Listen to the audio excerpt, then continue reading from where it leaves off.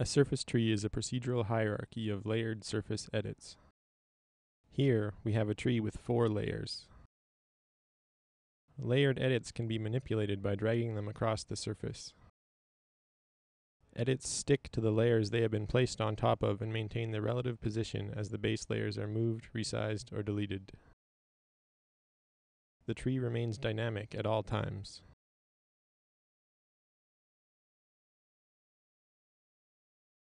Our surface trees are based on dynamic local parameterizations called decals.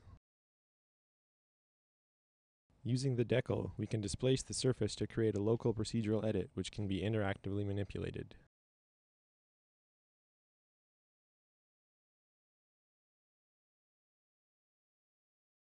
Our system is sketch-based. A user can extrude an area on the surface by drawing a contour and selecting an action from the suggestion list. Extrusions have various parameters like offset height, size, and fall-off radius.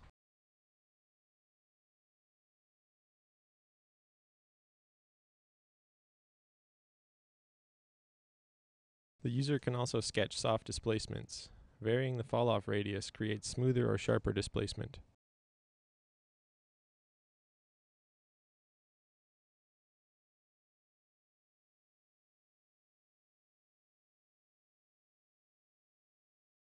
We can also create a displacement along a surface curve with an optional height profile curve. Here, the width of the displacement is proportional to its height.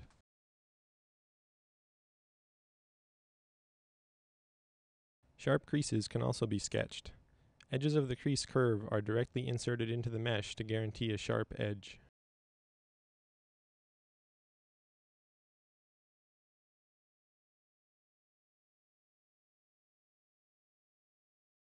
An extrusion can be pulled along an arbitrary sketch spline. The spline can be edited by resketching, and an optional profile curve can be used to create a generalized cylinder.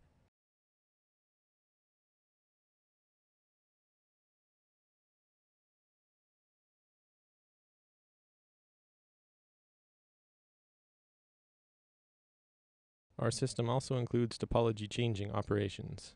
Here we cut a hole in the bunny mesh. The ends of the hole are completely dynamic.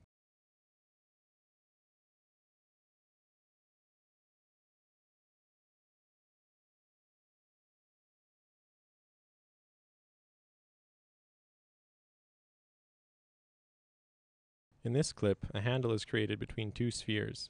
The surface tree framework allows the handle to update dynamically as the underlying sphere is moved.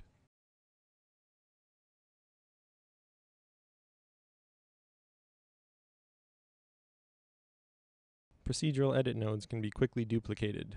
In this clip, parameters of the copies are linked to the initial edit. Any changes to that node will propagate to the copies.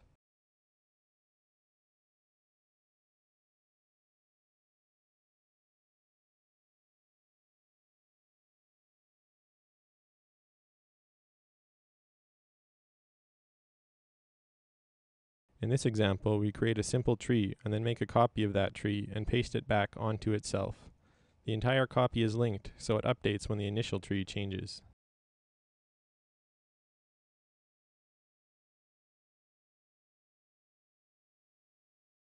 The following clips are taken from a modeling session.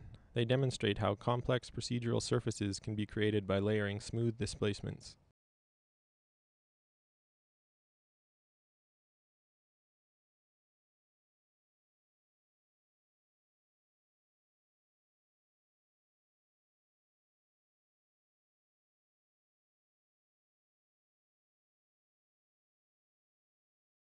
Linked copies are very useful for maintaining symmetry between edits. By interactively manipulating parameters, smooth displacement can be used to both add detail and make large-scale shape modifications.